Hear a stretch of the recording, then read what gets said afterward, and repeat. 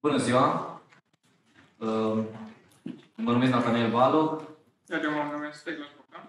și avem uh, onoarea să fim primii care prezentăm. Asta e bine că nu ne dă emoțiile unor lucrări uh, extraordinare înaintea noastră și vă rog să afișați un pic de înțelegere cu prezentarea noastră. Dacă ne vom exprima mai, mai puțin ideal. Uh, proiectul nostru, uh, prezentarea asta este prezentarea pe scurt a unui articol uh, ce vine în urma unei munci de dezvoltare de câteva luni, uh, în care am dezvoltat uh, câte o parte a unui sistem de a agrega date de pe internet într-un mod automat. Este denumit această aplicație este numit, denumită web scraping și am lucrat la acest sistem Uh, care este în momentul de față, bucățile acestei, uh, acestui sistem sunt în producție și uh, conținutul articolului care stă în spatele acestei prezentări descrie puțin mai pe larg metodele pe care le-am aplicat în dezvoltarea acestui sistem și vrem să vă prezentăm în mare cam despre ce este vorba în articol, care Uh, prezintă în mare despre ce este vorba în aceste aplicații pe care le-am dezvoltat. Și în introducere vrem să amintim puțin despre conceptul de Big Data, de aplicații ale uh, web scraping-ului care uh, încearcă să se folosească de cantitatea uriașă de date care este în momentul de față prezentă pe internet și despre încercarea de a transforma datele în cunoștințe și colegul meu Bogdan va continua următoarea parte a prezentării. În primul rând, vreau să vă vorbesc despre Big Data. Ce este acest Big Data? Se referă la volumul de date care există pe internet. După cum puteți vedea și în graficul pe care l-am ilustrat, acest volum este în continuă creștere și este o creștere destul de exponențială. Uh, acest lucru se datorează faptului că trăim într-o era a digitalizării. Digitalizarea este primul uh, punct pe care l-am precizat aici, uh, care contribuie la creșterea datelor de pe internet. Toate arhivele, documentele care există încep să se facă electronic.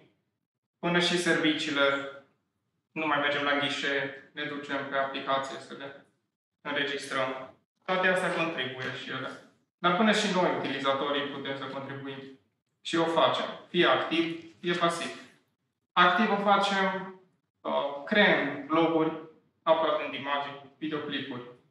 Pasiv, prin cookie-uri.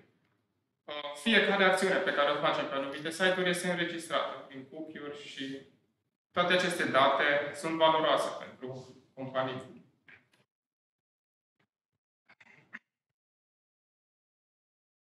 Pornind de la cele amintite de colegul meu, este evident că uh, ar fi nevoie să, sau am putea avea foarte mult de câștigat din uh, obținerea în timp real sau uh, cât mai aproape de timp real uh, acestor date care sunt în continuă expansiune pe internet. Uh, multe aplicații, multe domenii ar, au de câștigat din folosirea unui volum mare de date uh, care este astfel disponibil pentru a avea aplicații ce să folosească date ce sunt, care sunt uh, up-to-date sau care sunt, uh, uh, sunt actuale, sunt relevante. Și pentru asta e nevoie de sisteme care să fie capabile să facă într-un mod uh, uh, care să fie posibil de menținut și uh, să poată fi scalabil, uh, să facă această colectare a datelor. Pentru a le centraliza și pentru a le transforma uh, în, uh, în cunoștințe. Sunt multe uh, aplicații ale web scraping-ului. Uh, este foarte util în analizarea uh, piețelor de stocuri. Este uh, foarte util în analizarea știrilor, uh, în uh, proiecte care își propun să studieze social media, uh, în zonele de research. Domnii profesori vă pot confirma că e foarte util să aibă la dispoziție pentru cercetările lor volume mari și actuale de date. Uh, în o diversitate uriașă de domenii pe care, dintre care câteva le-am enumerat aici, iar în articol uh, se vor găsi și uh, articole ce fac referire la aceste aplicații, la domenii în care uh, web scraping-ul a fost folosit pentru a centraliza datele și pentru a oferi uh, niște insight-uri extrem de valoroase pentru cei ce au avut nevoie de ele și poate cel mai revoluționar domeniu în care este foarte util web scraping-ul este evident uh, antrenarea algoritmilor de învățare automată, unde e nevoie de volume mari de date și este foarte bine ca acestea să fie actuale, ceea ce face uh, nevoia asta de sisteme scalabile și ușor de menținut de, uh, de agregarea datelor de pe internet uh, face că să fie foarte utile. După cum a menționat și colegul meu anterior, datele acestea trebuie să fie și procesate pentru a putea ajunge să fie aplicate în viața de zi cu zi. Dar pentru a fi procesate, ele trebuie să fie mai întâi culese, iar volumul uriaș de date reprezintă o problemă pentru a culege informațiile. Acestea, după ce ajung să fie culese, trebuie să fie procesate, însă, din nou, uh, unetele pe care le avem pentru a procesa informațiile trebuie să fie actualizate și să se plieze pe cerințele noastre. De aceea, uh, procesarea trebuie să fie făcută într-un mod centralizat și scalabil. Uh, odată ce avem informația procesată, abia apoi putem vorbi despre cunoașterea informației. Uh, colegul meu urmează să vă prezinte despre colectarea de date, care este problema pe care am abordat-o noi în acest articol. După cum v-am spus, uh, veți găsi mai pe larg explicat lucrul acesta, cei care veți avea acces la articol, um, acolo unde explicăm uh, scopul acelui articol care își propune să prezinte rezolvările găsite la provocările ridicate de nevoia de a colecta date într-un mod scalabil din mai multe surse pentru a putea să fie centralizate. Și vom, am abordat în Uh, procesul de dezvoltare al aplicațiilor și în, uh, și în uh, acel articol care explică aceste lucruri, anumite abordări pe care le-am putea face la acest task de a integra, de a obține, de a colecta și de a integra structuri specifice de date prin agregarea datelor de pe internet și am abordat și anumite provocări pe care le ridică acest, această problemă, acest task.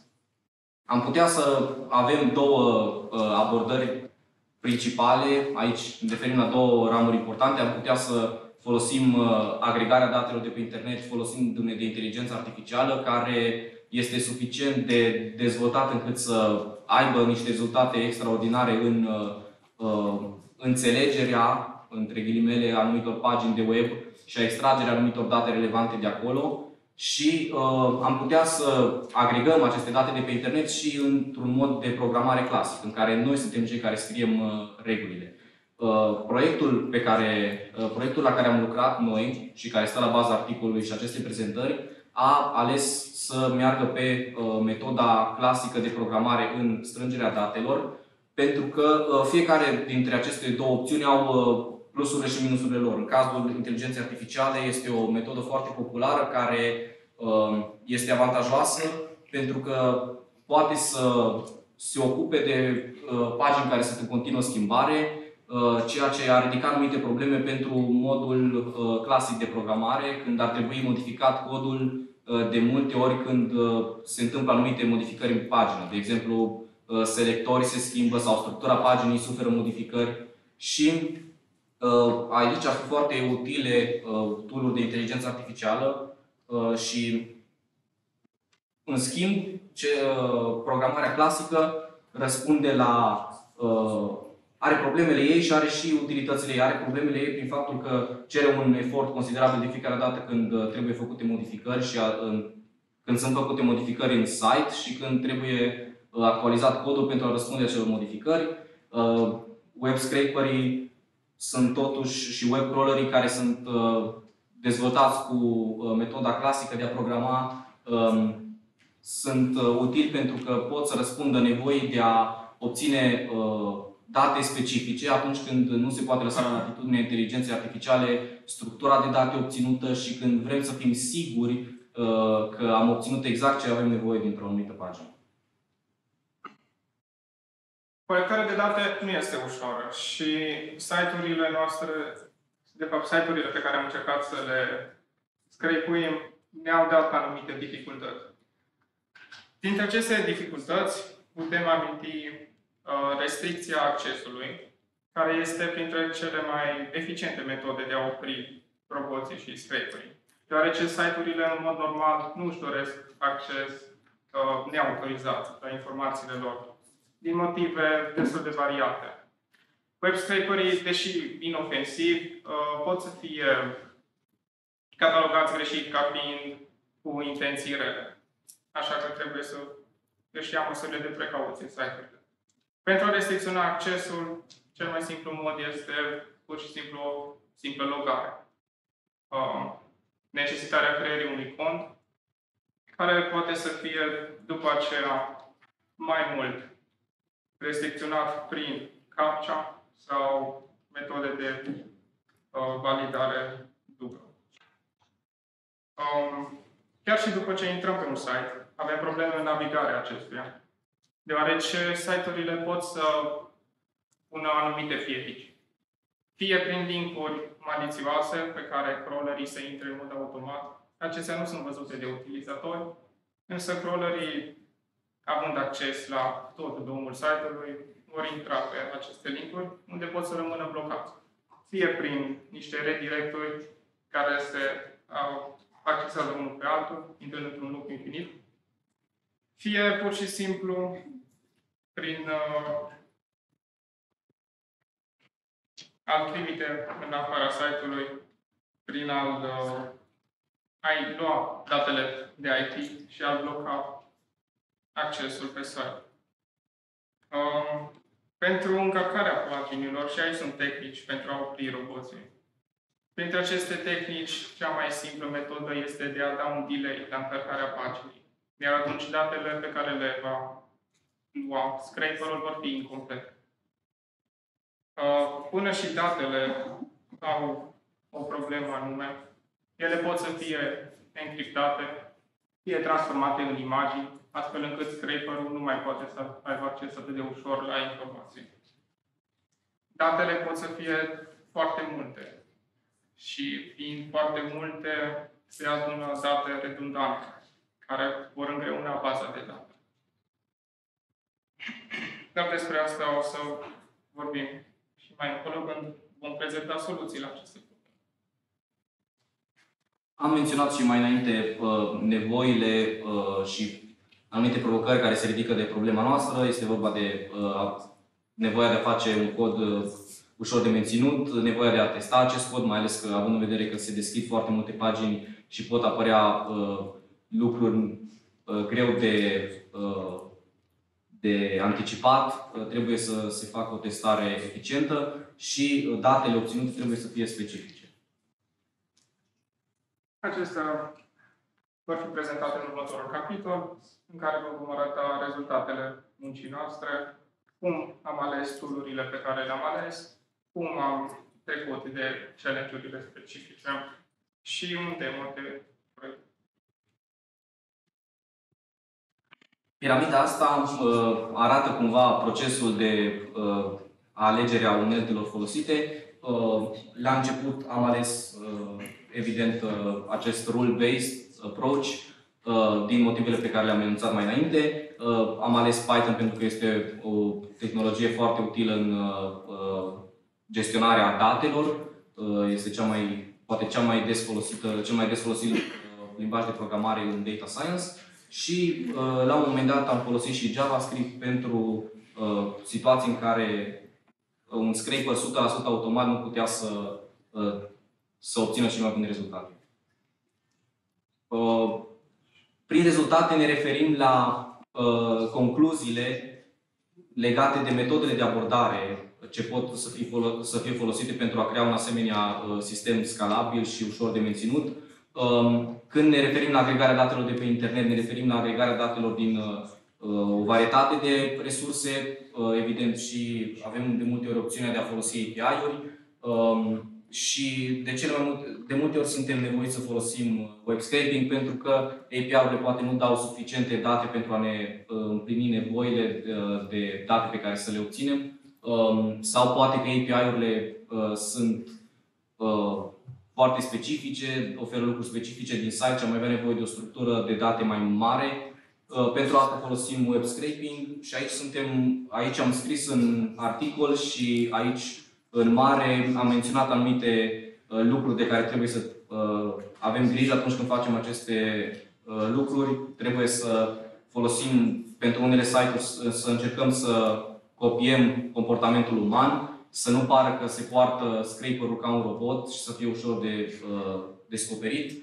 Uh, trebuie introduse anumite delay-uri pentru anumite acțiuni, pentru că omul nu ar da clicurile în câteva milisecunde cum le-ar face un robot. Trebuie făcut un management al cookie-urilor, pentru că uh, ăsta este felul în care un website, uh, un website uh, gestionează informațiile utilizatorilor și aceste cookie-uri uh, în aplicațiile noastre sunt stocate Uh, și se folosește și facem un fel de uh, un fel de simulare a faptului că mai mulți utilizatori al folosi unul după altul uh, din același loc uh, anumite website-uri, pentru că la anumite website-uri e nevoie de un IP anume și lucrul acesta se poate face printr-un uh, management foarte, uh, foarte atent al cookie-urilor. Uh, să putem folosi proxy-uri atunci când nu este important IP-ul uh, și să stocăm informații uh, comprehensive despre activitățile desfășurate de către scraper în uh, site. Apoi trebuie să avem grijă de, fapt, de consistența datelor, de acuratețea datelor și de faptul că datele sunt complete, pentru că s-ar putea încărca pe rând și asta ne-ar da o parte din date și toate aceste lucruri sunt gestionate în aplicația ce stă la baza articolului și acestei prezentări. Și apoi trebuie să avem grijă să fie ușor de menținut și aici sunt reguli clasice de programare pe care le amintim în articol. Totuși există situații în care scraping-ul automat nu este posibil. Pentru asta avem nevoie și de o alternativă. Iar alternativa pentru, uh, pentru care am optat este folosind Uh, JavaScript și mai exact implementarea extensiilor Google Chrome. JavaScript-ul este deja folosit în uh, partea de development de site-uri și are acces la DOM și la manipularea lui. Poate să ia date, să creeze, să updateze date și chiar să șteargă unele date.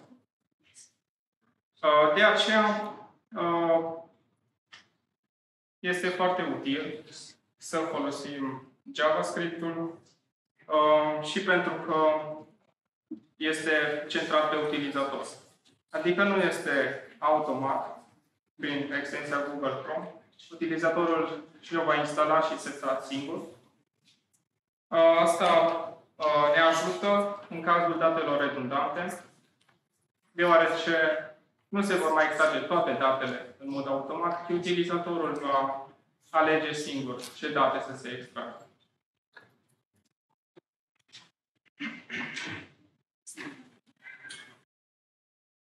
Am prezentat și niște structuri de proiect pentru cei care ar vrea să implementeze o asemenea, uh, un asemenea sistem și logica uh, ce ar putea să fie urmată este prezentată mai pe larg în articol și aceasta este prezentarea pentru varianta 100% automată cu Python și pentru varianta cu extensia de Chrome care a fost uh, prezentată înainte.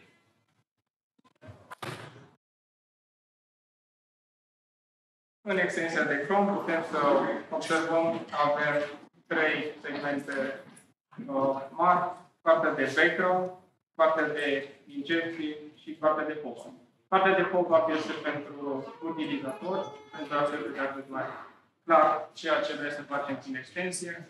În background se vor face apelurile către server, iar în content script se vor prelua datele, deoarece content script nu are acces la datele paginii. Acolo vom putea injecta și butoane pentru ce avem nevoie, iar aceste butoane din sistemul de messaging de messaging oferit de JavaScript vor comunica cu uh, scripturile din background și vor trimite datele către serverul AWS. Articolul prezintă mai pe larg toate aceste uh, lucruri pe care vi le-am arătat aici pe scurt și uh, vorbește și despre, prezintă mai în detaliu uh, toate aceste modalități de a uh, nu fi prinși de către uh, site atunci când se face această colectare de date și uh, comparația între uneltele care ar putea să fie folosite și toate aceste lucruri sunt concluziile muncii de dezvoltare ale acestor aplicații. Vă mulțumim pentru atenția acordată.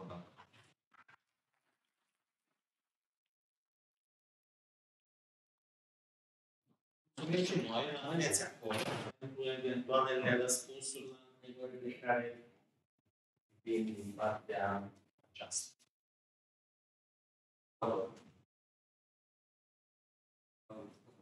Și era promisă și o demonstrație a aplicației, nu știu dacă cineva însemna să vedem ceva pe ecran, dacă se ceva rulând sau era o de sunt anumite, uh, sunt anumite motive din care codul sursă nu poate să fie uh, arătat aici uh, și articolul vorbește despre, uh, descrie în mare uh, abordările pe care le-am uh, folosit. Uh, nu putem să arătăm codul sursă și dacă am arătat rulând nu ar ajuta foarte mult pentru că este gândit în așa fel încât să dureze ceva colectarea de informații de pe pagină pentru că trebuie lucrurile să se încarce. Și dacă l-am dat să ruleze, l-am dat să ruleze și ne-am uitat practic la vreo câteva de secunde la câteva uh, rezultate de la anumite pagini de pe care s-au colectat datele. Evident, asta se poate face și mai rapid, deschidem pagina și luăm datele, dar uh, în, situațiile, în situația noastră durează rularea pentru că așa sunt provocări ridicate de site. Nu putem să folosim acum rularea.